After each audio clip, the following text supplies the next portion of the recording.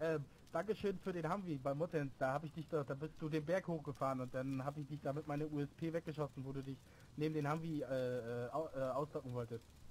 Ja, du böser Mensch. Ja, ich weiß, ich weiß, aber ich hatte keine Mitfahrmöglichkeit und dich wollte ich nicht fragen, weil, ja, es gibt hier genug Bandits auf dem Server, weißt du, ich bin zwar selber einer, aber, ja, wer im Auto sitzt, ist mutig und fährt lieber, äh, Spieler um, die sich nicht wirklich gegen Fahrzeug wehren kann, weißt du?